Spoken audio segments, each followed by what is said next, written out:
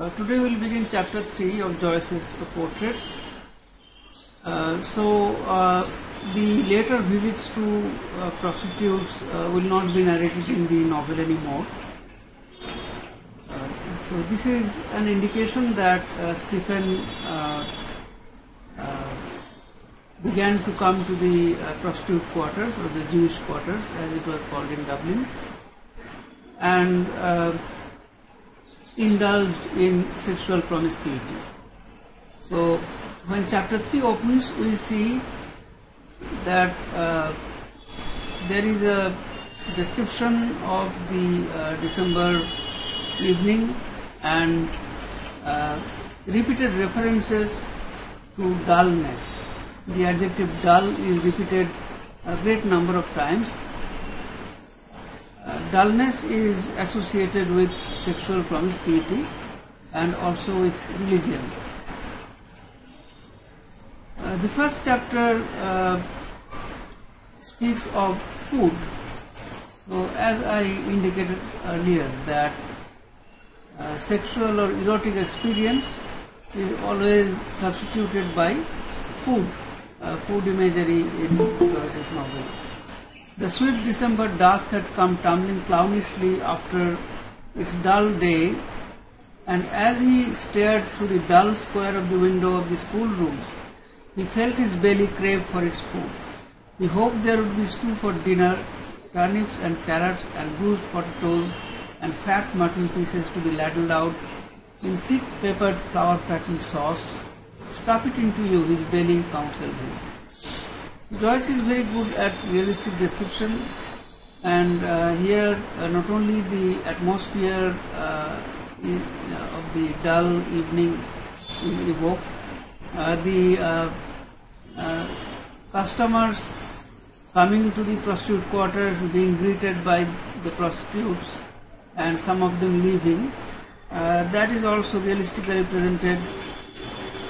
Hello Bertie, any good in your mind? Is that you pigeon? Number 10, fresh Nelly is waiting on you. Good night husband, coming in to have a short time. So you can see that these realistic uh, speeches are intended to recreate the atmosphere of the prostitute quarters. Uh, Georg Lukács has famously said that uh, the realism in Joyce is not a proper realism uh, because uh, Joyce follows the stream of consciousness, consciousness technique, uh, which means that uh, it is a realism reflected through somebody's consciousness or psyche. Then again on the next page we see the dull light fell more faintly upon the page uh, whereon another equation began to unfold itself slowly. So as I told you that the word dull would be repeated and this chapter is uh, very uh, innovative, very experimental uh, in the sense that here we have four sermons, one after another,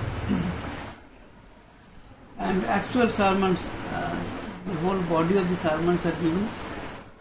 Uh, so almost uh, 21 pages of no action, only sermon.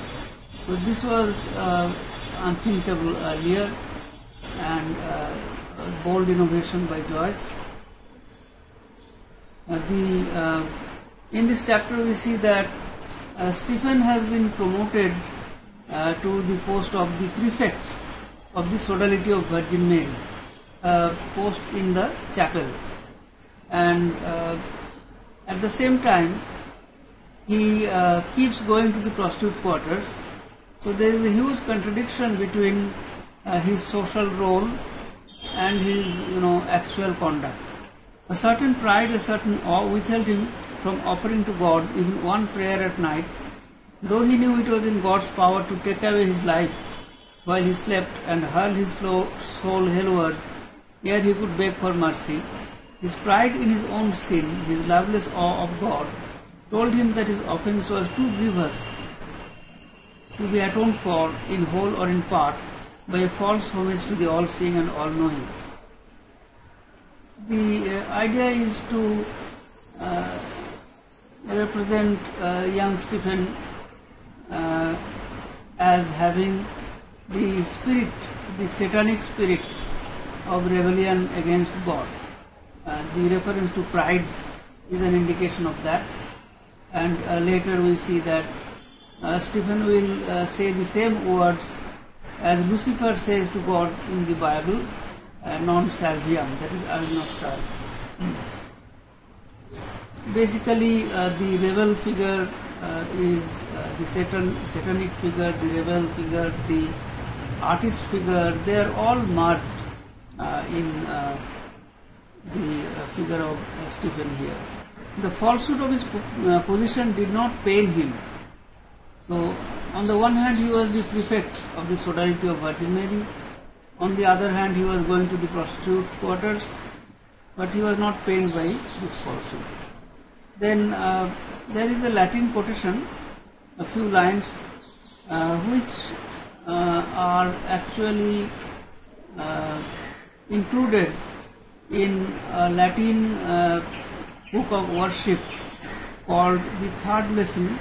Uh, it is called the Little Office, and uh, this uh, portion is in the third lesson. Third lesson of the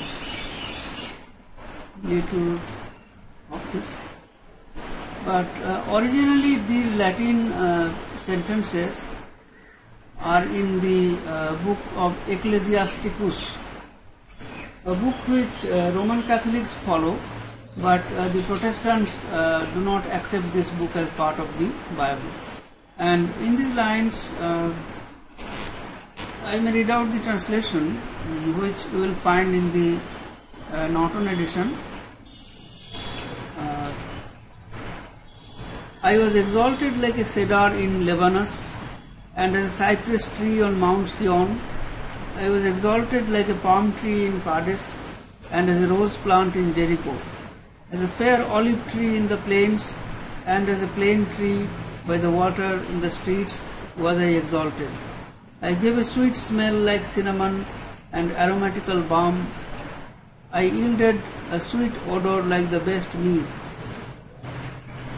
So in this uh, passage we see a number of sensual uh, references, that is, uh, olfactory images, images of smell and uh, aroma. And we also find the uh, reference to rose, the rose plantation or the rose tree in Jericho. Uh, we know that uh, rose is a symbol in this novel for the psychical development. So uh, even though Stephen was reading from the little office, actually uh, he was acutely aware of his sinful nature. After that, uh, I skip three, four pages and come to the sermon. And uh, the sermon is read out uh, uh, in this retreat where the father is talking about uh, Saint Francis Xavier. Well, so those who are in Roman Catholic institutions like you, uh, you should be aware of the retreat, uh, period of withdrawal uh, from the world, where uh, Christians uh, focus on the well-being of their soul. So the father explains retreat to the little boys. A retreat, my dear boys, signifies a withdrawal for a while from the cares of our life, the cares of this workaday world, in order to examine the state of our conscious conscience, uh, to reflect on the mysteries, mysteries of holy religion, and to understand better why we are here in this world. Uh, conscience. So that is also something with which uh, the Roman Catholics are uh, concerned. And uh, in Roman Catholicism there is a whole discipline of uh, cases of conscience uh, which uh, is known as casuistry. So uh, uh, fathers would write on uh, casuistry on cases of conscience of their uh, of the members of the church. So the uh, first sermon begins uh, one or two pages later. The next day brought death and judgment. Now, uh, apparently these four sermons were to be on the four last things. So in uh, Catholic Catechism, uh, where the uh, lessons of Christianity are taught by question and answer, that is called Catechism. Probably you have attended Catechism classes. In Catholic Catechism, uh, the question, what are the four last things? The answer to that is uh, death, uh, judgment, heaven and hell.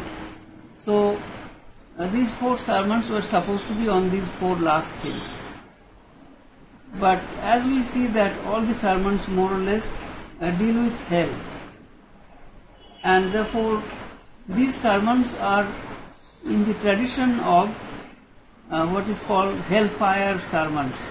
Uh, sermons by which uh, people are you know, made afraid of the punishments in hell. So uh, in the Middle Ages, uh, such sermons were, you know, very common. The whole purpose was to frighten uh, people of the uh, consequences of committing sin. As you know, in Middle Ages there were also uh, such, uh, you know, processions or such events like dance of death. people, monks, they would dress dress up as death and uh, they would dance on the streets and uh, move in a procession to frighten the people. So basically the medieval church had only one goal to frighten the people. The medieval church was also very corrupted and they wanted to exploit the people and uh, you know uh, extort money from them on any account. So frightening the people was therefore important for them. So uh, we see the uh, sentence, the next day brought death and judgment, uh, which indicates that death is associated with religion in uh, Stephen's psyche. Very deeply, uh, the idea of death was impressed on the psyche of all Roman Catholic boys and the consequences of sin. Uh, next page. Nor was that all God's justice had still to be vindicated before men. After the particular, there still remained the general judgment. The sermon deals with uh, particular judgment, general judgment in the scholastic fashion.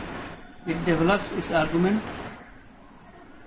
Uh, the last day had come, so the idea of the doomsday. Uh, doomsday was at hand, the stars of heaven were falling upon the earth like the figs cast by the fig tree which the wind had shaken, uh, the sun had become a sackcloth of hair and so on and so forth. So here we find description uh, basically borrowed from the book of Revelation, the uh, apocalyptic uh, day of judgment. Then the sentence, depart from me you cursed into everlasting fire which was prepared for the devil and his angels. Uh, this sentence is found in the Gospel of Matthew. And in course of the sermons, this sentence is repeated a great number of times, suggesting that uh, God will reject the sinners and bar their entry from heaven and uh, they would therefore be condemned to hell uh, a discussion of death. Death is the end of us all. Death and judgment brought into the world by the sin of our first parents. And uh, two sentences quoted here. O grave, where is thy victory? O death, where is thy sting? Uh, apparently from uh, St. Paul's uh, first book of Corinthians. But uh, the phrases are a little misquoted here. The actual phrases are where is thy victory, O death? Where is thy sting, O hell? So, uh, instead of O hell, we uh, find O death, where is the sting? And instead of uh, O death, where is the victory, we have O grave, where is the victory? Probably Joyce was writing out of memory and a kind of slight misquotation here. But these uh, words are very powerful, and uh, the idea is that uh, a person who prays to God uh, will defeat death or uh, hell. Then uh, he thinks of, uh, he passes the square as the sermon ends and he thinks of Emma. The image of Emma appeared before him and under her eyes the flood of shame rushed forth anew from his heart. If she knew to what his mind had subjected her, or how his brute-like lust had torn and trampled upon her innocence, uh, was that boyish love, was that chivalry, was that poetry, and so on and so forth. So we see that in Joyce's psyche, uh, sorry, in Stephen's psyche, uh, the figure of Emma, the figure of Virgin Mary, uh, they all uh, blend. He, uh, from Emma, he switches his thought to Virgin Mary. God was too great and stern, and the blessed Virgin too pure and holy. But he imagined that he stood near Emma in a wide land, and humbly and in tears bent and kissed the elbow of her sleeve. And as if Virgin Mary is telling them, Take hands, Stephen and Emma, it is a beautiful evening now in heaven. You have erred, but you are always my children. It is one heart that loves another heart. Uh, take hands together, my dear children, and you will be happy together, and your hearts will love each other. So, uh, by no means uh, this is realism. Uh, Joyce is following Stephen's consciousness, and uh, in his uh, mind, Stephen quickly moves from uh, one figure to another, from the figure of Emma to that of Virgin Mary, and then imagines that his love for Emma is sanctioned by religion. Then the second sermon uh, begins, that is also on hell. And here we find the reference, uh, the father says how uh, Satan refused to serve. Uh, theologians consider that it was the sin of pride, the sinful thought, conceived in an instant, non serviam, I will not serve.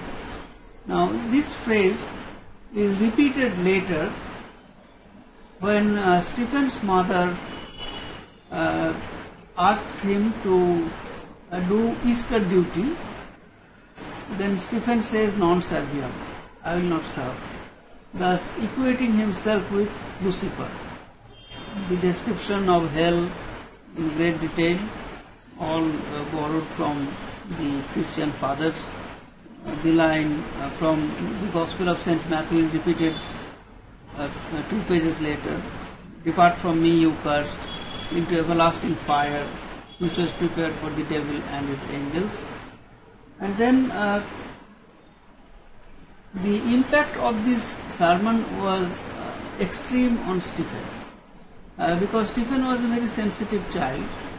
So uh, the images of hell, the image of fire, the images of punishment, all that had a great impact on him. A wave of uh, fire swept through his body. The uh, first, again a wave, his brain began to glow. Another, his brain was simmering and bubbling within the cracking tenement of the skull. Flames burst forth from his skull like a corolla, shrieking like voices, hell, hell, hell, hell, hell. Uh, so Stephen imagines that he hears voices uh, repeating the word hell, and uh, basically uh, he is now afraid of the sins that he has committed. And uh, then the third sermon, again on hell and sin. Uh, this evening we shall consider for a few moments the nature of the spiritual torments of hell. So as I told you, that all four sermons they harp on the idea of hell, then uh, on conscience. Such is the threefold sting of conscience, the viper which gnaws the very heart's core of the wretches in hell, so that filled with hellish fury they curse themselves for their folly and curse the evil companions who have brought them to such ruin, and curse the devils who tempted them in life and now mock them and torture them in eternity, and even revile and curse the Supreme Being, whose goodness and patience they scorn and slighted, but whose justice and power they cannot evade. You can see how long the sentence is uh, in imitation of uh, Latin uh, periods and uh, the threefold sting of consent. So this is how, uh, according to scholastic method, uh, sermons were written with the help of uh, division and partition. So in detail, the different kinds of pain that one suffers, basically all mental pain and uh, you know physical pain. Uh, so these are described. So after the sermons, right after that, Stephen goes to dinner. They told you that after any kind of mental or psychic experience, food is always important. Then he uh, uh, falls asleep and he has a dream. So the uh, knowledge of uh, Freud's interpretation of dreams uh, came very handy to Joyce. Uh, this uh, in this dream, uh, the creatures of hell are described just in the manner uh, Bruegel paints them in his painting The Fall of Rebel Angels, uh, which is on the cover of the uh, uh, of Fowler's edition of Paradise Lost. Let me see if I can show you. So uh, this is the cover uh, of Fowler's edition of Paradise Lost, where you see the uh, painting by Bruegel, uh, The Fall of the Rebel Angels is reproduced. And in this painting we see uh, that the rebel angels, they are transformed into uh, reptilian forms and sometimes in, in forms of insects and so on. So, uh, of course, this is not the whole painting. Uh, you can always uh, look at the painting uh, by googling it. we find a similar description here. Uh, creatures were in the field. One, three, six. Creatures were moving in the field hither and thither. Goatish creatures with human faces, horny browed, lightly bearded, and grey as India rubber. The malice of evil glittered in their hard eyes as they moved hither and thither, trailing their long tails behind them. A rictus of cruel malignity lit up greyly their old bony faces. One was clasping about his ribs a torn flannel waistcoat, another complained monotonously as his beard stuck in the tufted uh, weeds. Soft language issued from their spitulous lips as they swished in slow circles round and round the field, winding hither and thither through the weeds, dragging their long tails amid the rattling canisters. They moved in slow circles, circling closer and closer to enclose, to enclose, soft language issuing from their lips, their long swishing tails, besmeared with stale shit, thrusting upwards their terrific faces. So this is a nightmare. Uh, the reptilian uh, figures of the rebel angels or devils uh, enclosing him, encircling him, and uh, uh, the uh, language here, soft language, and the repeated use of the S sound, uh, the uh, uh, palatal sounds of S, uh, that creates the same, uh, reproduces the uh, you know sound, swishing sound made by the uh, tails of the uh, figures.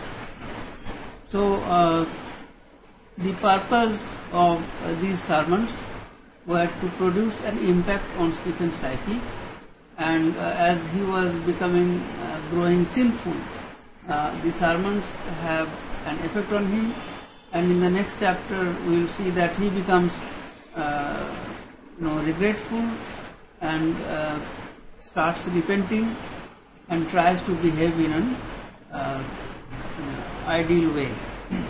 He cowered in the shadow of the thought, abasing himself in the awe of God, who had made all things and all men. Madness, who could think such a thought? And cowering in darkness and abject, he prayed uh, mutely to his angel guardian to drive away with his sword the demon that was whispering to his brain.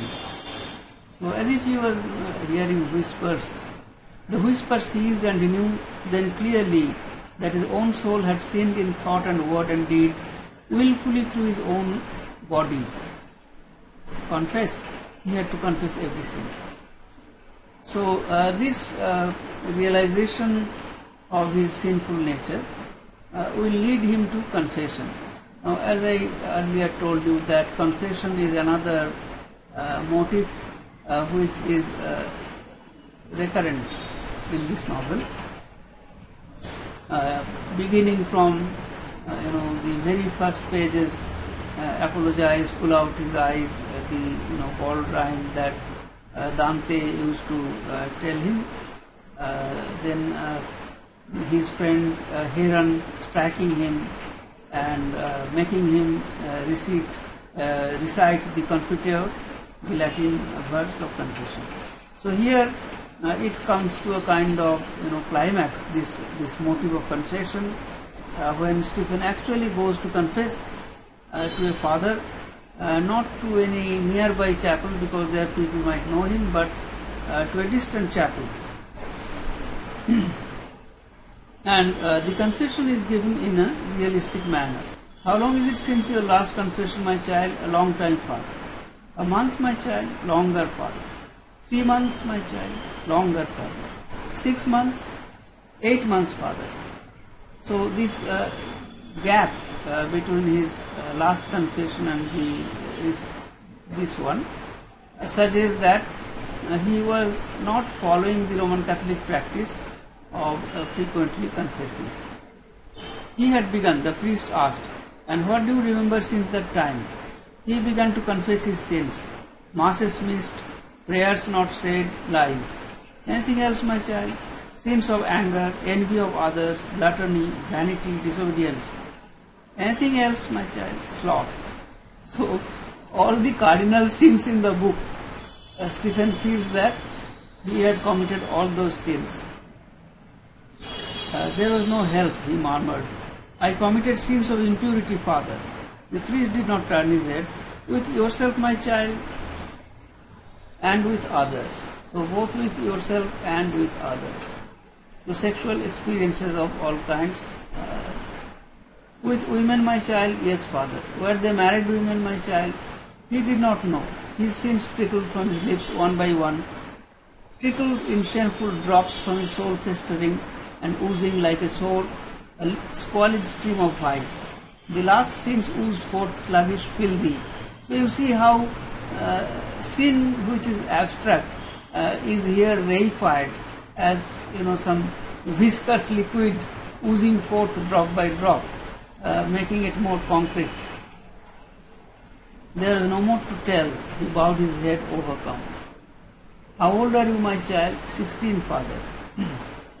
okay, so mm, we see that Stephen feels uh, ashamed and repentant and confesses his sins. So, what would be uh, there after uh, such spiritual experience of uh, confession, repentance, uh, guilt, and all that? Uh, this psychical experience would be uh, replaced or substituted by food, of course. He sat by the fire in the kitchen, not daring to speak for happiness. Till that moment, he had not known how beautiful and peaceful life could be. So, after confessing all his sins, he finds peace. So, uh, kind of resolution. Uh, the green square of paper pinned round the lamp cast down a tender shade. On the dresser was a plate of sausages and white pudding, and on the shelf there were eggs. They would be for the breakfast in the morning after the communion in the college chapel. White pudding and eggs and sausages and cups of tea. How simple and beautiful was life after all, and life lay all before him. Alright, so we see that uh, the chapter 3 ends with this resolution of the crisis. Uh, just like the earlier chapters, uh, in course of the chapter, the spiritual crisis developed which comes to some kind of a climax, and then uh, the confession is the climax, and after that it is resolved. In chapter 4, we see that Stephen becomes religious with a vengeance.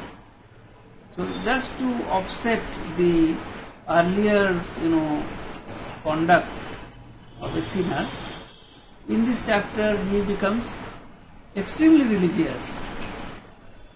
So we have to remember that uh, Joyce is narrating the psyche of an adolescent. So an adolescent mind won't know any balance. Uh, so it will always veer from one extreme to another.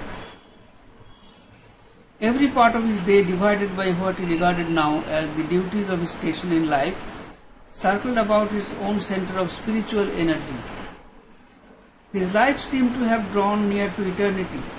Every thought, word and deed, every instance of consciousness would be made to revibrate radiantly in heaven. And at times his sense of such immediate repercussion was so lively that he seemed to feel his soul in devotion pressing like fingers the keyboard of a great cash register and to see the amount of his purchase start forth immediately in heaven, not as a number but as frail column of incense or as a slender flower. A humorous, you know, uh, suggestion that with every act of religiosity, with every virtuous act, Stephen feels that as if he is purchasing virtue, purchasing uh, merit in the cash register of heaven. So there uh, you get merit and when you have sufficient merit then you may go to heaven. This is also a parody of the Roman Catholic idea uh, that you know by uh, merit one can go to heaven. Uh, as we know that uh, the Puritans or the Protestants, uh, the Calvinists, uh, they do not believe in this idea. it is called the covenant of works. the Calvinists, on the other hand, suggest that the covenant between God and Christian is that of the covenant of grace. So the Protestants uh, suggest that uh, before the advent of Christ, it was uh, Moses' law and uh, the covenant of war.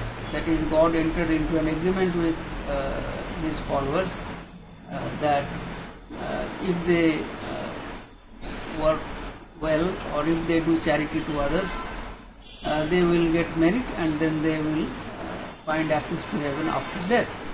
But uh, the Calvinists rejected this idea and suggested that uh, this idea presupposes that man can do something for going to heaven.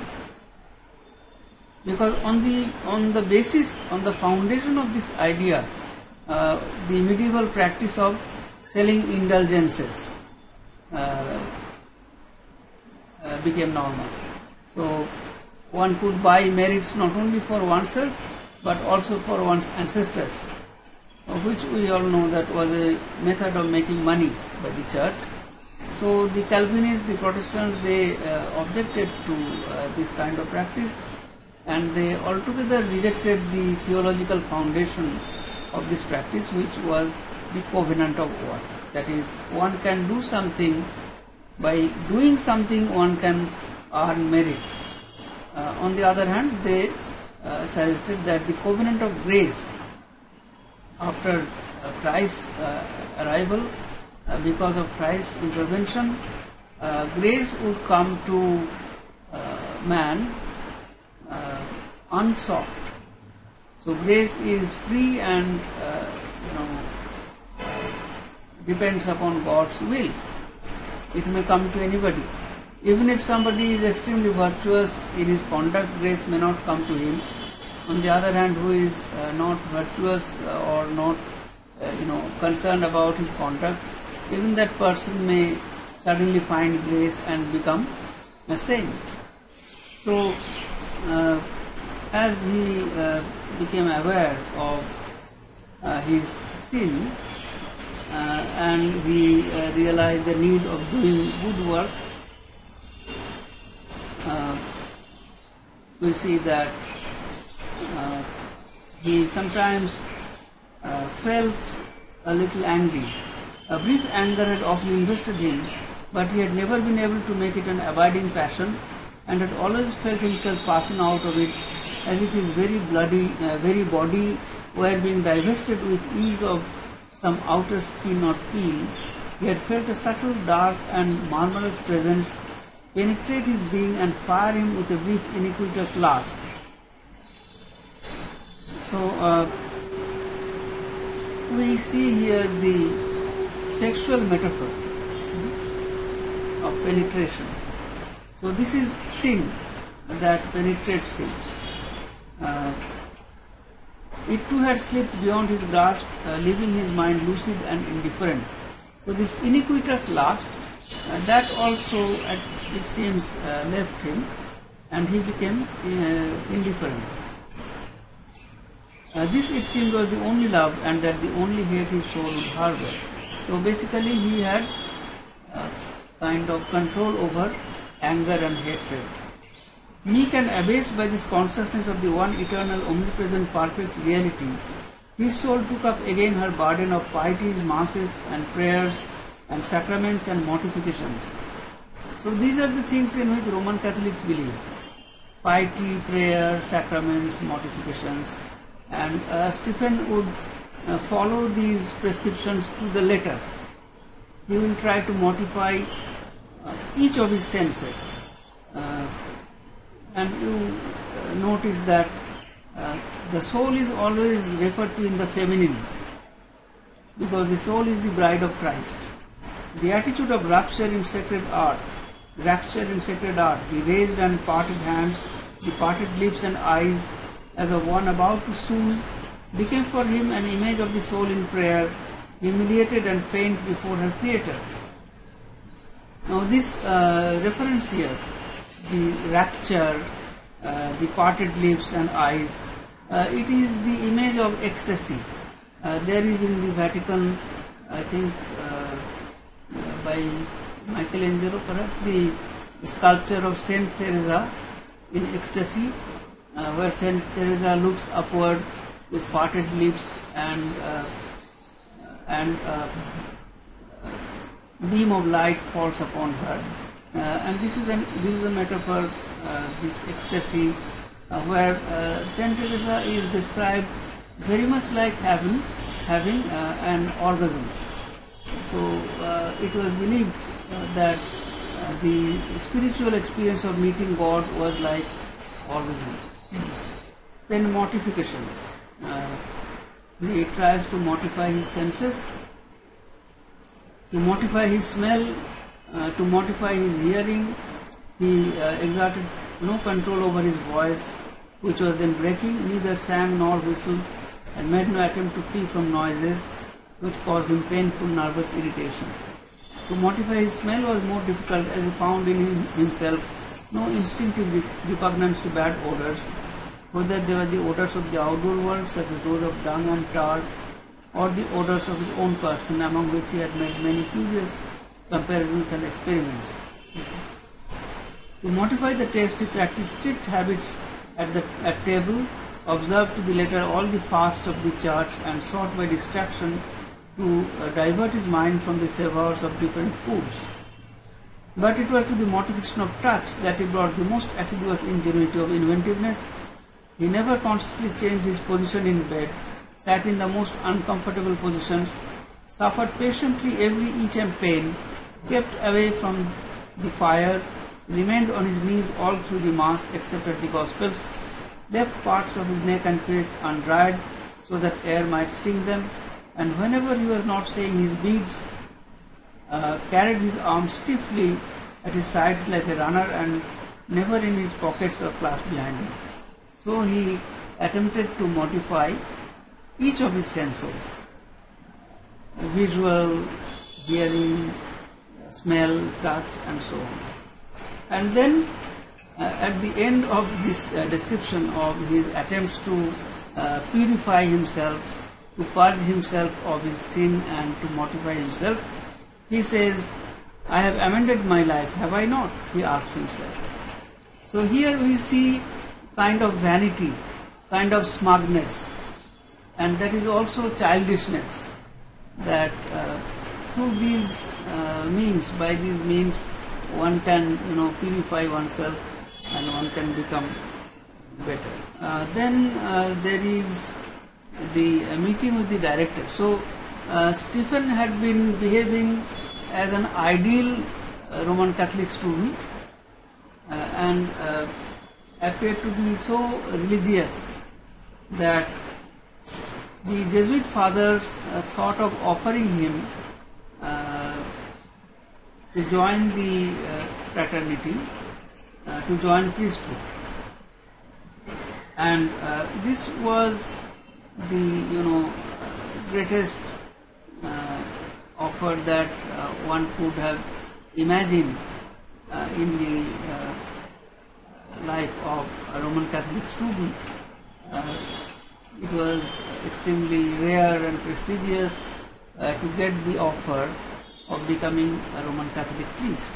So the director of the you know, school calls him and here is an interview with the director.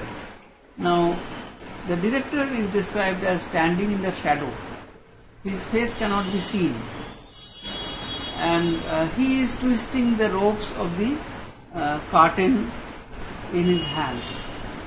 So, uh, in one's imagination, the director would appear to be some sinister figure, like some villain whose face uh, is in darkness, it cannot be seen, and uh, the ropes dangling in his, you know, uh, they uh, also have a sinister appearance. So, uh, let us see that. And uh, this is an example of epiphany because by looking at these, Stephen has a sudden realization or revelation. The director stood in the embrasure of the window, his back to the light, leaning an elbow on the brown cross blind, and as he spoke and smiled, slowly dangling and looping the cord of the other blind. Stephen stood before him, following for a moment with his eyes the waning of the long summer daylight above the roofs with the slow deft movements of the priestly fingers. The priest's face was in total shadow, but the waning daylight from behind him touched the deeply grooved temples and the curves of the skull. So the uh, highlight on the temples of the director's skull, uh, that also uh, reminds one of death, because the skull, as you remember, Stephen saw in his childhood on the uh, table of the uh, Jesuit father, the rector, the memento mori, remembrance of death. Stephen followed also with his uh, ears the accent and intervals of the priest's voice as he spoke gravely and cordially of indifferent themes, the vacation which had just ended, the colleges of the order abroad, the transference of masters. The grave and cordial voice went on easily with its tale, and in the pauses, Stephen felt bound to set it on again with respectful questions. He knew that the tale was a prelude, and his mind waited for the sequel. Ever since the message of summons had come for him from the director, his mind had struggled to find the meaning of the message. So they have a conversation, they speak on uh, sundry things, uh, even such unimportant things as the uh, uh, dress worn, uh, worn by the uh, Dominican and Franciscan orders, the Capuchin monks, and so on. And uh, these uh, overflowing gown-like dresses. Uh, in Belgium, they are called les. Uh, and Stephen is always interested in words. So he asks, uh, what do they call them? Once again, les jupes. Uh, okay, so Stephen, Stephen uh, uses these words and finally, I mean, it is a very long uh, dialogue. Then the director asks him, I mean, have you ever felt within yourself, in your soul, a desire to join the order? And then he explains how uh, one must uh, feel it in one's soul. Uh, this must be a call uh, that one must hear from God. So it is uh, to become a priest is not like taking up any other profession, uh, and that is why uh, you know this is called calling. Calling we usually um, mean profession by this word, but the origin is this calling by God uh, to somebody that uh, that person must do a particular thing. Uh, George Herbert has uh, poems on this idea, uh, how when he floundered, not knowing what he should do, then a voice tells him that you must come to me. The poem is called The Collar. So as if uh, somebody holds him by the collar and calls him to task. Okay. so the director explains, to receive that call, Stephen, is the greatest honor that the Almighty God can bestow upon a man. No king or emperor on this earth has the power of the priest of God. No angel or archangel in heaven, no saint, not even the blessed Virgin herself, has the power of a priest of God. The power of the keys, the power to bind and loose from sin, the power of exorcism, the power to cast out from the creatures of God the evil spirits that have power over them, the power, the authority to make the great God of heaven come down upon the altar and take the form of bread and wine. What an awful power, Stephen. The uh, Roman Catholics, we know, they believe in the Eucharist and they believe that the priest makes God come down to the altar and that miraculously the flesh and blood of Christ is, uh, you know, the, the wafer and the wine turns into the and blood of Christ and God enters into the body of Christians uh, them. Uh, the uh, Protestants like uh, Lutherans and Calvinists, uh, they also believe in the Eucharist, but uh, there are marginal differences. Like the Calvinists do not believe in the exact transformation, not not the Lutherans. So uh, basically, they believe this uh, transformation in the Eucharist as a metaphor rather than a real magical transformation or transubstantiation. So the power of the keys, uh, as we remember that uh, uh, that Saint Peter was given the keys. Uh, now the keys, metaphorically, they stand for the keys to uh, the realm of God. The keys. Uh, here the director says that these are the keys by which the priest can bind or loosen a soul. So priests have the power to bind the soul uh, to heaven or to God or to let loose the soul so that the devils can take it away. Stephen is uh, extremely moved by this uh, offer and he uh, takes some time to think over it. So we find that he is dreaming uh, how it would appear if he if, if he becomes a Roman, uh, if he becomes a Jesuit father. So he uh, utters his name, pronounces his name, the Reverend Stephen Dedalus S.J. As you know that Jesuits use the letters S.J. which means uh, Society of Jesus uh, at the end of their names. His name in that new life leaped into the characters before his eyes, and to it there followed a mental sensation of an undefined face or color of a face. So the color faded and became strong like a changing glow of polished brick red. So he imagines that uh, he, is almost kind of blushing, uh, thinking of being called as Reverend Stephen Dedalus S.J. The voice of the director urging upon him the proud claims of the church and the mystery of, and power of the priestly office repeated itself idly in his memory. His soul was not there to hear and greet it, and he knew now that the exhortation he had listened to had already fallen into the idle formal tale. So in his mind he weighed uh, this offer, but he didn't find, you know, any attraction for it. So he knew that his mind has rejected it. He would never swing the thurible before the tabernacle as priest. His destiny was to be elusive of social or religious orders.